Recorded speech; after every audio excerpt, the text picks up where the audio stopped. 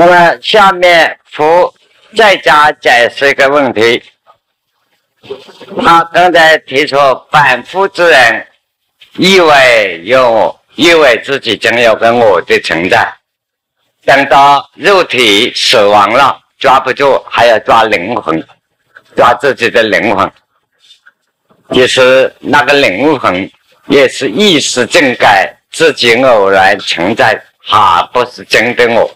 真的我不是这个，是反复之人，总归要抓一个有相的我，都抓错了。真做到四大相，就是说人我众生受在该空的时候，那么可以找到生命本来的自我。那个自我是假称的啊。叫他自我也不对，叫他的佛也不对，叫他的菩提也不对，各种名称。那么现在讲到这个地方，佛要加以解说，因为他提出了一个名称，我们翻成中文叫反复、平凡的一般人。是不的，反复在说来说，既非反复，是能反复。为什么他要加这个尾巴呢？他说了一个反复，把大家要抓住自己啊，然后一般人很可怜的，我们也看到很多学佛的人，差不多了。哎呀，我是反复，他也不敢承认是圣人啊。那么你说你真是反复，你就当反复好了。他肚子里也不服气，不肯做反复啊。那么你就说圣人吧，啊，他也不敢承认是圣人。所以，一般学佛修道人很可怜，在圣人反复之间，就在公园里头啊，小儿玩就拿来翻秋千啊，一下翻到圣人那里去，一下翻到反复那里去，永远下不了台，挂在空中在水。所以他佛告诉我们，所谓反复在本来是个假名，没有真正什么那个反复。假名叫他是反复，换一句话说，严重的讲，一切众生都是佛，就是大家自己不找不到自己的本性，找到了不是反复，个个是佛，众生平等，个个是佛，所以后世禅宗的经典是心佛众生三无差别平等。心即是佛啊，悟到了此心真是佛，没有悟到佛也是反复。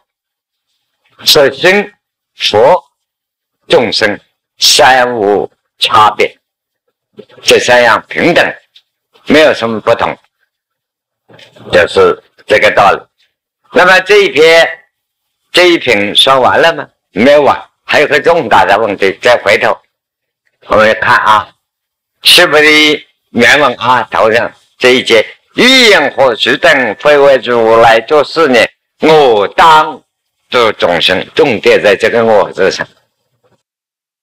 刚才我们开始的解说这句话，把它解说说：佛说我没有度众生，文字是那么解释，而佛为什么那么讲呢？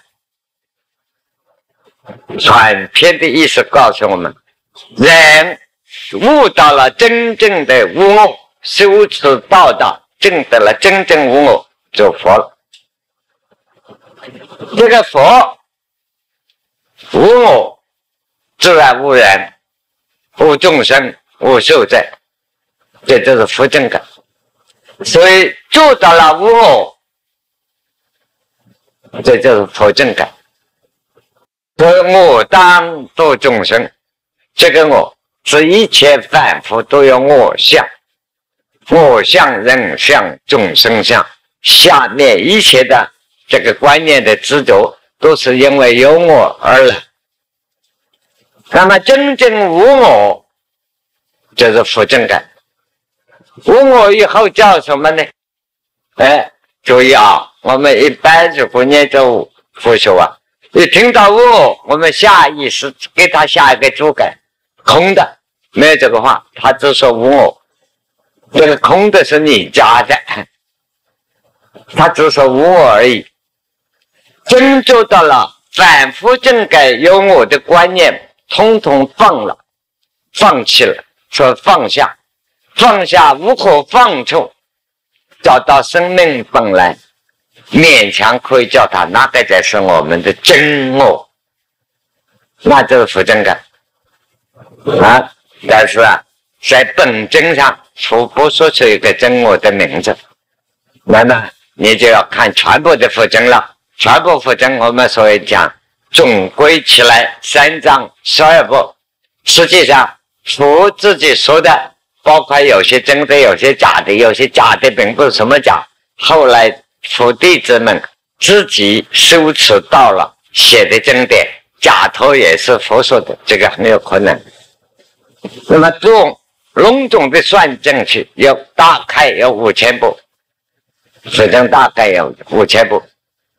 所以过去有些人念经啊，为了自己念，为了父母念经，要念一丈经，一丈经多少？五千转。金刚经念五千转算一丈，那就是说佛说的话大丈经啊，佛的这一部分五千转，后世弟子们做的论乃至佛经的注解不算在内，结果统统把它算起来，现在有一万。三三四千转，统统以后世加进去，越来越多。那么这许多的经典，我们把佛的平生的说法四十九年，他这个要等无常，世界一切无常，靠不住，世界上哪样都靠不住，啊，都要变去了，都不属于我的，所以一切无常，人世间一切该苦。没有斗争的快乐，没有斗争的幸幸福，说无常、苦啊、空，一切都无法把握，都要憋住了，憋住了，最后都抓不住，抓不住那个情况，那个境界，给他定一个名字叫做空，说无常、苦、空、无我，能来无我。啊，这是佛，所有佛法都是这样说。那么大家因此佛在世的时候，许多佛的弟子以他所教授的方法来修持，都证到了无我的正界，脱离了，免去了无常、苦、空、无我的束缚。但是因此啊。堕落于偏空之果，这是我们后世的佛学给他加上，就偏向于消极的空。那佛到了什么时间呢？八十一岁，他老人家要请假走路了，请长假了，啊，懒得再教了，看年盘了。这个时候，他告诉我们是相反的四个字：长落。我正，总平上所讲完全相反。最后告诉我们：你真做到了无人相、无我相、无众生相、无寿者相，修持到了一切放了，放弃了空了也空，空到彻底，你找到了生命的本源。这个生命的本源呢，永恒不变。但是不强我们世界的观念，有个东西不变，那要错了啊！那个所谓正常卫生论也属于外道的看法。这个常是对无常而的，它非断非常。金刚经下面后面就要跟我们解释。这个时候是弱的，不是苦。所以得了道的路，但是我们一般人的观念里头认为得了道的人一天都是快乐，那一天快乐啊，把你乐死了的。哎，我们头痛当然一天很难过了，哎，你要痛个六七天也痛不死。啊，你说头不痛了，那个头好快乐啊，啊，好快乐啊！一天快乐的不得了。你看，快乐三天，这个人一定发疯了。苦乐是相对的现象啊，就是走相了就会发疯。是乐无苦即是乐，清净之乐，清净没有正改。所以这个乐不要做世界法的看法的乐啊，常乐。这个时候是真正的我了，不生不灭，不生不死的，就是不生不灭之我。并没有像我们现在世俗的观念有个我相的存在，所以这个我，这个我就是干干净净，所谓净土。说净啊，没有一个净的正盖。因为我们这个地下很干净，这个不算净。虚空很干净，虚空才不干净。那物理科学家都晓得虚空里头很多东西，嗯，怎么干净啊？真正虚空是看不见的，那那个是无善也无恶，无苦也无乐，那是真正的正，那个是实正感。那么本篇所讲说化物说话是这样一个道理，我们了解了这个道理，给他做个结论啊，做个结论啊。这个也是一个节子啊，东为无化道沙婆，忧乐无端其放过啊。中国学是无善，悠然一处定风波，这是形容啊。这个化物说话，哦真到达了大彻大悟啊。忽然而悟，那个正盖证到了空性。我们一切众生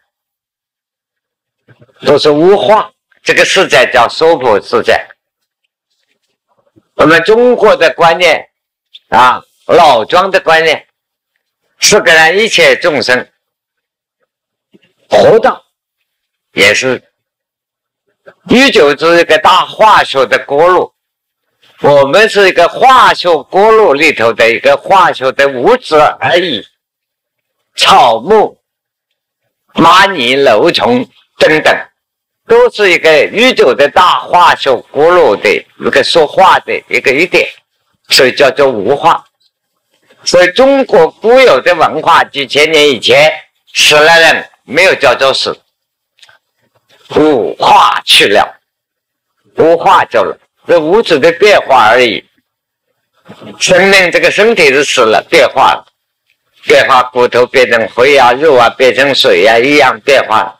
所以灰，我们学过物质学，只能复变，它的能量还是存在，没有什么变去，不过变个形象而已，所以叫做无化。我们生命存在。是同为无化，一切众生都是无化，到这个娑婆世界来，原来都是无话，加有的在这里，大家都在唱戏，可是大家忘记了自己在唱戏，哎，而且更不会欣赏自己唱，自导自演自唱，都忘记了，结果啊，唱啊唱啊，自己还唱的真掉起眼泪来了，啊，唱到高兴的这，自己把肚子都笑痛了。给自己骗了一大堆，骗了几十年，所以我们懂了这个道理啊。忧乐无端且放过，一切忧愁烦恼，一切的快乐都是莫名其妙的事啊，无端没有理由。看通了这个道理啊，哎，你逍遥一点，自在一点，爱唱歌就唱歌，爱跳就跳，就是解脱了。全世界的一切。庙子上，大钟、大鼓、大扬琴、敲木鱼在念经。我们在这个十一楼在讲真干真，清清正正啊。盖几条盖那边要跳舞厅，人家还在那里蹦恰蹦呢。啊，他们跟我们也差不多，各有各的境界。我们的中国打完了，他们的舞场也打烊。最后回去，大家都进入那个黑洞洞，什么都不知道的地方去了。中国昔日无善，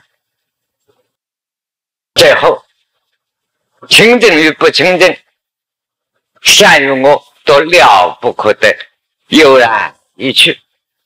定风波，你懂得一切了不可得，一切不着相，到家了。定风波本来是。古代一个过去的名称啊，现在我们不讲这个过去的本身，见这个过去的名称啊，而说明这个意义。一切风不稳定啊，既不中国也不巧，木也不来了，国无改善啊啊，这个我们说明了二十五亿五平的。这个理由